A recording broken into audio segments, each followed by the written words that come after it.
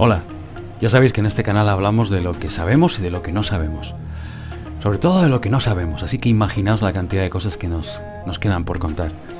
Atalanta Fugiens ha sido considerado el libro de emblemas más bello y sugerente de todos los tiempos. Su autor, Michael Mayer, 1568-1622, fue un célebre médico de la corte del emperador Rodolfo II de Praga, el emperador loco, nada menos. Y parte de la fascinación que ha despertado esta obra se debe a su triple naturaleza, en tanto que libro de emblemas visual, obra musical, con sus 50 partituras que acompañan a las imágenes, y volumen puramente textual, con sus epigramas y comentarios alquímicos. Por todo ello, Atalanta Fugiens puede considerarse como el primer libro multimedia de la historia cultural europea. Si lo queréis tener en la mano, abrirlo, oler el papel, os recomiendo la edición de Atalanta, que es maravillosa. Pensad que Michael Mayer estaba haciendo lo que intentó Monteverdi, ¿eh? unir todas las artes en una. ¿eh? La ópera, en este caso, con su Orfeo.